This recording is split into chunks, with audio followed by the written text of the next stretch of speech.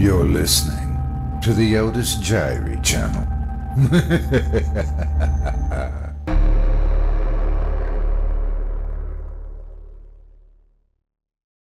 A Scarecrow by William Harmar, narrated by Otis Jiry.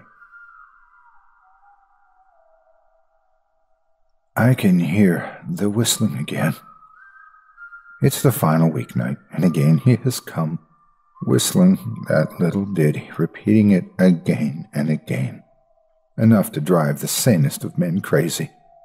Through the window, I can see the light through the cornfield. I can hear the rustling of plants, the maddening whistling. It's all culminating in a feeling of hopeless dread, like being faced with a gun while you're up against a wall. I know he wants to find me. But I don't know what he wants with me. I don't want to know what he wants. All I want is for this to be over with. The lamplight is becoming brighter, the whistling becoming louder, and the dread in my stomach is getting worse and worse every second. Only my need to keep quiet is preventing me from either screaming in fear or throwing up from the sickening tension. For a while, it feels like time is torturing me, making things seem slower than they are to keep my anxiety levels sky high. But it feels all too soon when he finally shows his face through the green fog like plants. All I can see is his smile, a stitched, malicious little smile, mouth sewn shut, as if to keep his hatred from spewing forth. The dim lamp sways back and forth as he comes through the corn effortlessly, almost gliding through like a ghost. It's nauseating seeing his dimly lit figure wander towards my house. And it's even worse trying to figure out what he wants from me. Does he want me dead? Does he want me to go mad? I can't tell. But what's for certain is that whatever he wants is not pleasant.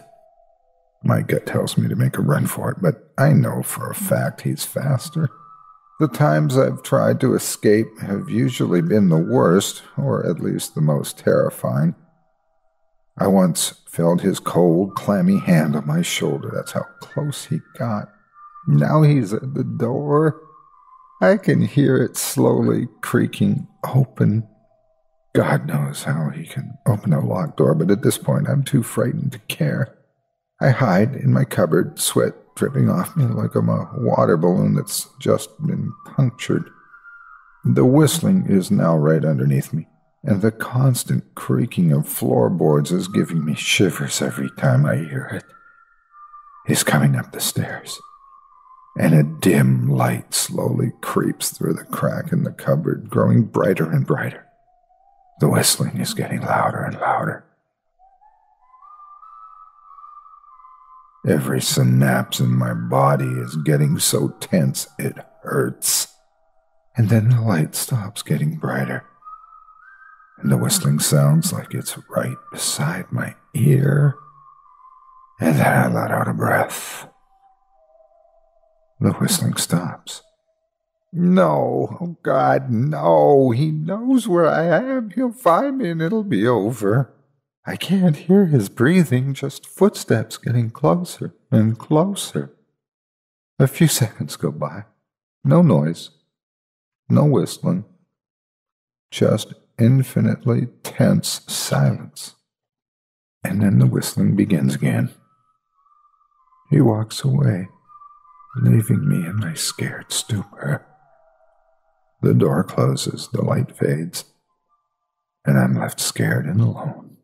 So here I am, dreading the next week, and dreading that next time I won't be so lucky.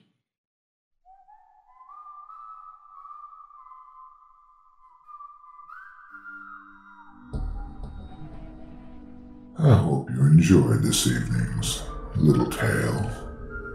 Until next time, bundle up, stay warm Sleep tight.